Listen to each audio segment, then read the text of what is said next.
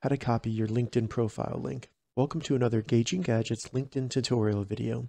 In this video, I'm going to show you how to get a link for your LinkedIn profile.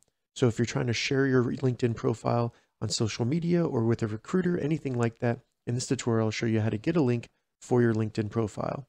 And if this video helps you, please consider giving it a like and also subscribing to my channel because that really helps me out. All right, so to get started, the first thing we need to do is simply open up the LinkedIn app on our iPhone or Android phone and then from the home screen, select your profile image in the top left of the app. Once you do this, under your name, you'll see View Profile. Go ahead and select View Profile.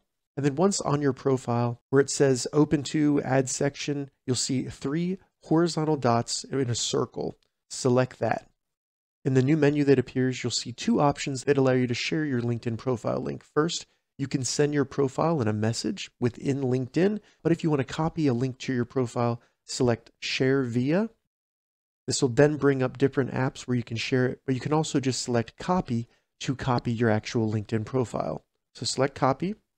Once you do that, you can then open up any app you want to and simply paste the link that was copied from LinkedIn. All right, so that's how you copy your LinkedIn profile link. If you have any questions about this, leave a comment below. I'll get back to you as soon as I can. If you'd like to see more LinkedIn tips and tutorials, check the links in the description.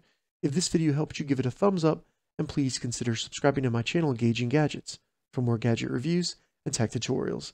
Thank you so much for watching.